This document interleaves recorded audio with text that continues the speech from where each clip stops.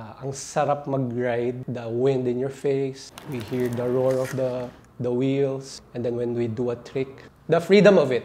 I'm not old, pero yung mas, you know, when, we, when you do sport, nararamdaman yung mga sakit. Noon, hindi ko ganong iniinda. Nung nag-iFlex ako, parang balik sa dati. Ngayon na ibabalik ko na unti-unti yung talon ko dati. Kaya lahat, ang daming possibilities. Travel around the world with my skateboard and my camera and my family. Yung tipong ganun.